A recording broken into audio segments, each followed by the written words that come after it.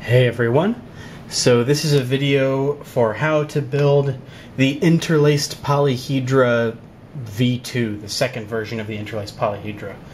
Um, the first thing you're going to need is an icosahedron frame, just like this one.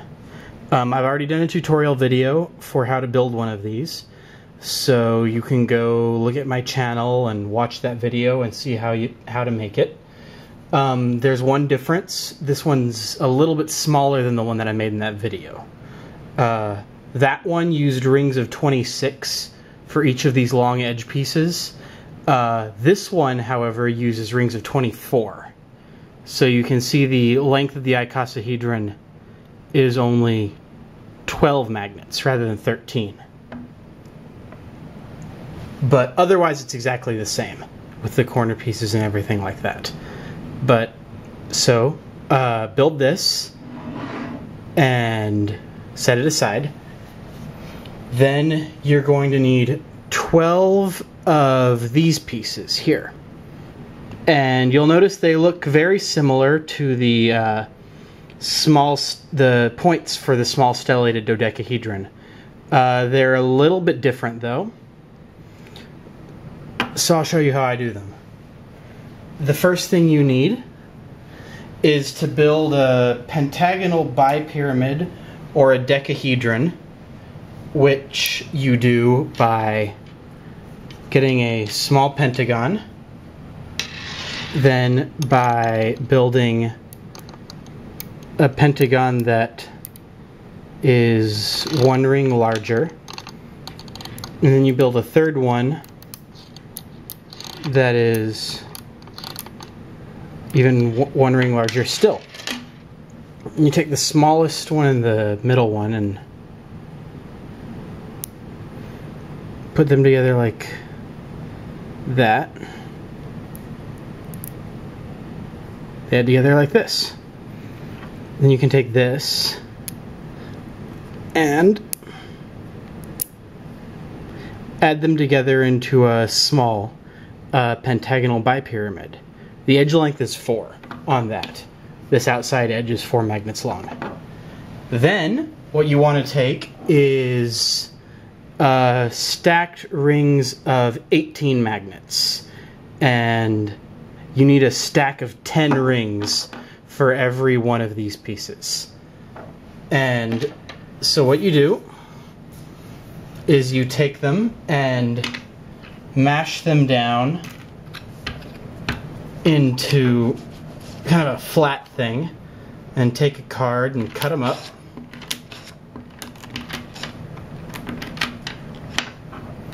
And you'll have five long straight pieces.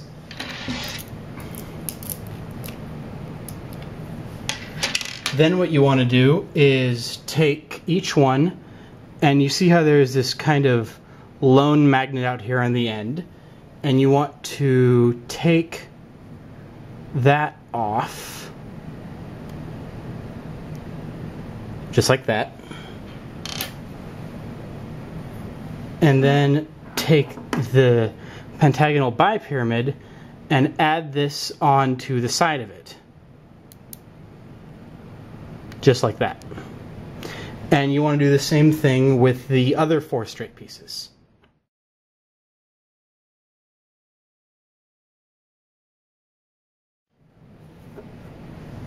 Now on the last one, you may need to uh, kind of push it in a little bit to make sure that everything is contacting that center pentagon.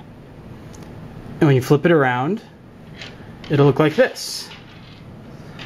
And what you need to do, let's see, my chain is getting away from me. Uh, you need to take a chain though and pull off these five outside corner magnets that are just kind of hanging out there. Just like that. Next, you want to remove that uh, top pentagon. Just like that. Now you see here that on the very top, there's a pentagon kind of rim here. And you don't want to take the corners out, you want to take the ones that are in the middle of the edges. Those five magnets.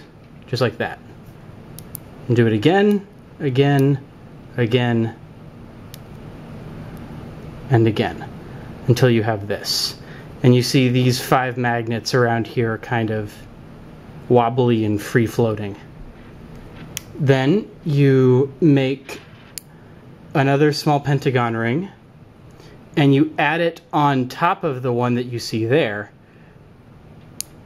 so that those free floating magnets, those five free floating magnets, will um, hook in to the new pentagon that you just added. Just like that.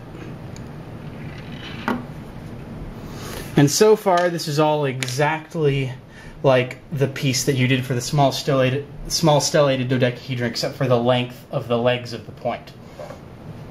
Now here's where it becomes a little bit more different. Because you need to add a spoke coming out of here. So you take a stack of uh, pentagon rings, and it doesn't really matter how long they are, but it does need to be at least like five or six long.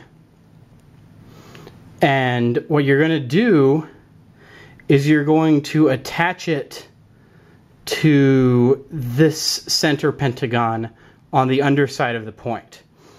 And you need to make sure that when you put it there, it's the right polarity so that it meshes into that center pentagon and it's not stacked, it's meshed. So you go ahead and put that in. Just like that. And now you want to cut away most of it. And I like to use a little tiny piece of plastic. It's like a cut up old credit card. Um, to where you remove this whole thing except for the two rings that are uh, nearest to the end. And so you kind of slide that in and take off the excess. Oh, looks like I got an extra magnet in there.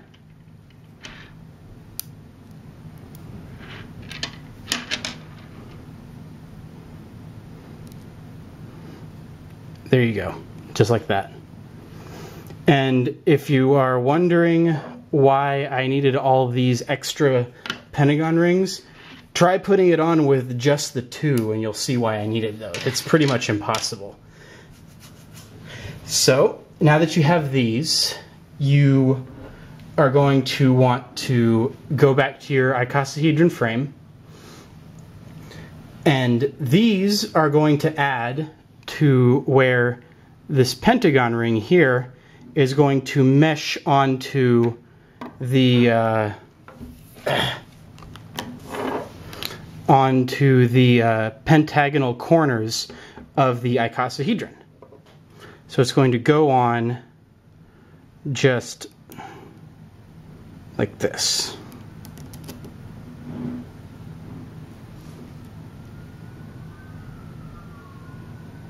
Just like that. Now, as you're adding the first three on, you'll see that they don't quite come together in the middle. And that's where you need the next part, which is a just a tiny triangle, three magnets. And you add it between these two to complete them. That is the wrong polarity. So flip it around.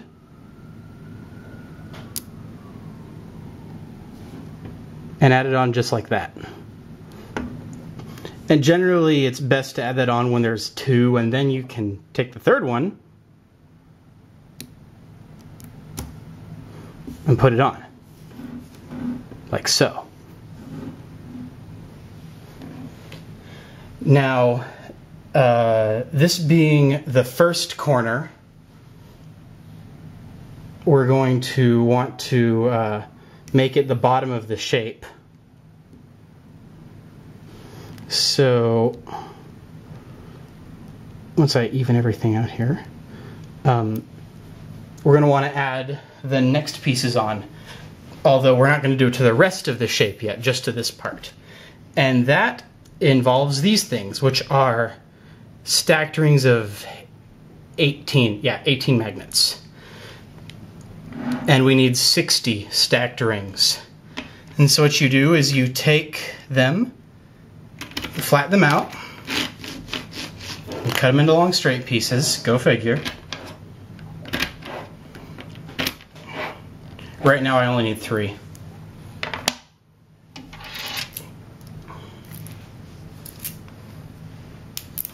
And what you want to do is on the underside of them, you want to take out the middle four magnets. Like that. Like that. So the middle four on the bottom side of the straight piece get taken out. And you want to do that to the other two also.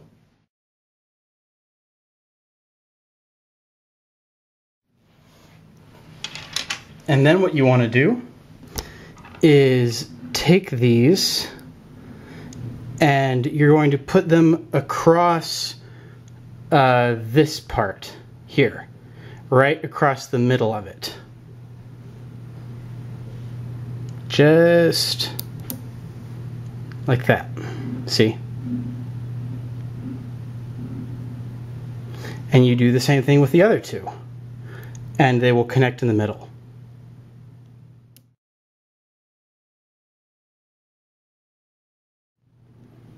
And right now you see the corner looks like that. And you can kind of grip it on the sides here and push it together like that to round it out.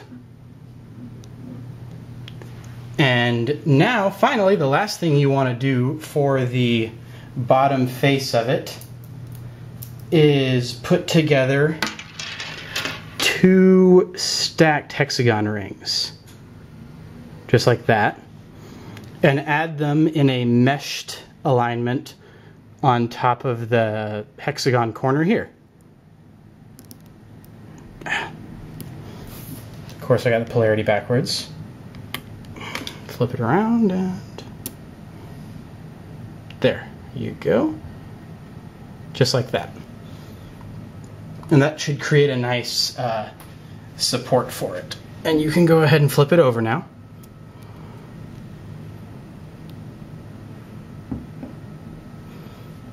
Just like that. And now what you want to do is take the uh, remaining nine of these and add them on to one on each of these corners and to uh, take those uh, small triangles like this and uh, put those in between the junctions of all of them. And I think all told you need 20 of these. You've already put one on, so you need 19 more.